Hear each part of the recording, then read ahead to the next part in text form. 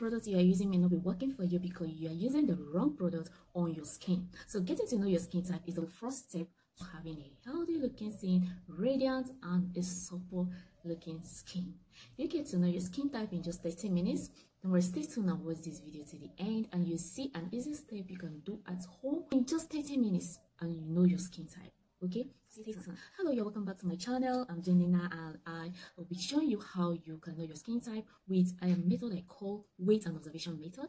So in this method you just get to use three materials. It's your cleanser your face towel and water. Lukewarm water precisely. So what you get to do first of all you cleanse your face with a gentle cleanser. I always recommend you use a cleanser that is for all skin types so you'll not be biased with the result you'll be getting not using a dry cleanser when you have an oily skin. So when you use um general cleanser a mild one for all skin types you cleanse your face rinse with a lukewarm water but dry with a towel and stay don't apply any moisturizer or anything on your face. Okay you can just take a sip of coffee just relax. Well, after 30 minutes you got to do the observation method.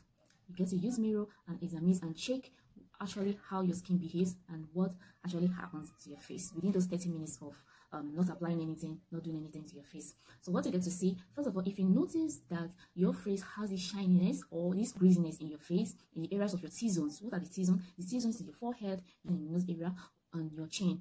That's a T-zone. You can notice it? This is a sign T-zone.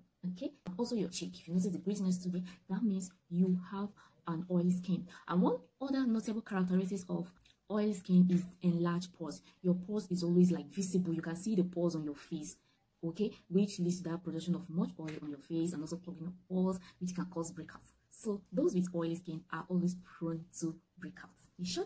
Don't worry. The second one is you only have this greasiness shine shininess in the t-zones area only.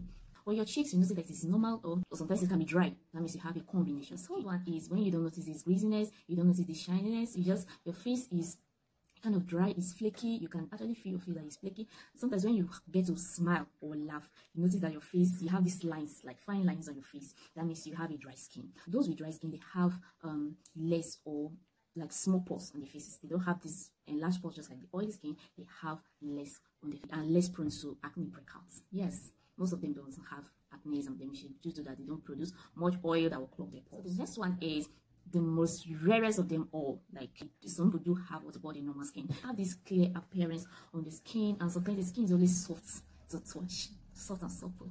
Yeah, they just have this normal, just like name normal skin type. The skin is um near perfect, but it's not perfect. Many times people say they have a sensitive skin. It's a skin condition and not actually a skin type. So you, your skin can be oily and sensitive. Your skin can also be um, dry and sensitive. So it's left for you to be very observant when product or any ingredient you're sensitive to. It can be an environmental sensitivity and it can also be maybe a particular drug or something your skin just doesn't need, doesn't want near it at all. So you have to be observation to know when your skin is sensitive to a particular product. That's why you need to do product testing before using or apply, eh, applying any product to your face. So getting to know your skin type is very, very vital for a healthy skin, a flawless skin, and also to know the right product to get for your skin. I hope you get values in this video. If you don't forget to give me a subscribe and a thumbs up button in this video and also click the notification button to get notified whenever I post video. Okay, thank you.